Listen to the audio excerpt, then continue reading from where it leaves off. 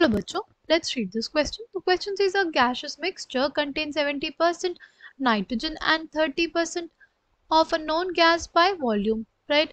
If if average molecular mass of the gaseous mixture is 37.60, then the molecular mass of a known gas is option A है हमारे पास 42.2 option B है 60 option C है हमारे पास 40 और option D है हमारे पास 50 right? Now, the key concept for this question is,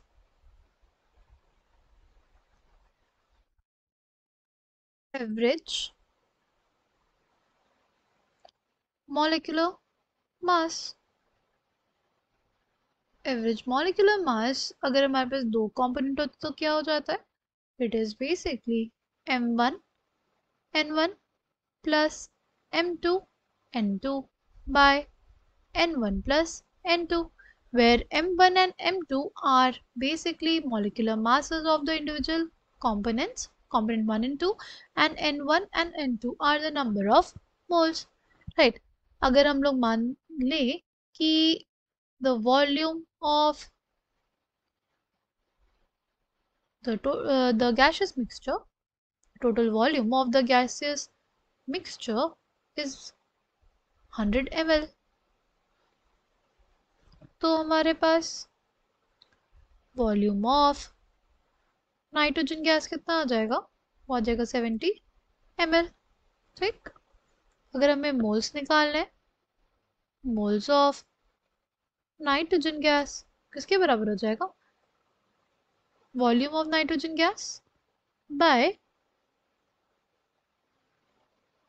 22,400 mole per mole right? इसको सॉल्व करेंगे तो हमारे पास कितना आ जाएगा?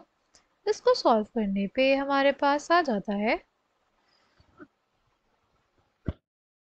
zero point zero zero three one two five moles ठीक? Number of moles of nitrogen gas आ गया हमारे पास। और अगर बात करते हैं हम लोग वॉल्यूम ऑफ़ गैस एक्स वो कितना? थर्टी एम एल ठीक। ऑफ़ मोल्स कितने आ जाएँगे? Number of moles of gas x किसके बराबर? 30 by 22,400 right 30 by 22,400 mole right किसके बराबर हो जाएगा? हो जाएगा zero point zero zero one three four moles के बराबर। ठीक। अब हमें निकालना है एवरेज मॉलिकुलर मास राइट किसके बराबर हो जाएगा? हो जाएगा एम वन एम वन हमारे पास कितना है? मॉलिकुलर मास ऑफ़ नाइट्रोजन कितना हो जाएगा? 28 ग्राम पर मोल राइट इससे मल्टीप्लाई कर देंगे हम लोग। Moles of nitrogen which is 0.00312 moles by plus plus क्या हो जाएगा हमारे पास? M2 हमें पता करना है M2 क्या है। उसको X मान लेते हैं। एन टू हमें पता है कितना? Zero point zero zero one three four moles by क्या हो जाएगा? बाय हमारे पास हो जाएगा zero point zero zero three one two five plus zero point zero zero one three four moles right और average molecular mass has been given as 37.60 right? इसको solve करेंगे कितना आएगा?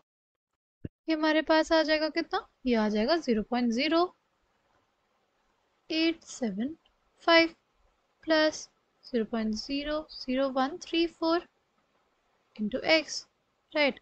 by ये डिनोमिनेटर में हमारे पास कितना आ जाएगा? डिनोमिनेटर में हमारे पास आ जाएगा zero point zero zero four four six five ठीक? क्रॉस मल्टीप्लाई कर लेंगे। क्रॉस मल्टीप्लिकेशन पे क्या आ जाएगा हमारे पास? आ जाएगा zero point one six seven eight eight four is equals to कितना? Zero point zero eight seven five plus zero point zero zero one three four into X right दोनों को सब करेंगे तो हमारे पास क्या आ जाएगा? दोनों को सब करने पे हमारे पास आ जाएगा zero point zero eight zero three eight four इसको डिवाइड कर देंगे zero point zero zero one three four से। तो हमारे पास कितना आ जाएगा? This will come out to be sixty कितना आ जाएगा ये हमारे पास? ये हमारे पास अप्रॉक्सीमेटली किसके बराबर आ जाएगा? 60 के बराबर आ जाएगा। Coming back to the question correct answer for this question will be option B I hope you understood it well thank you all the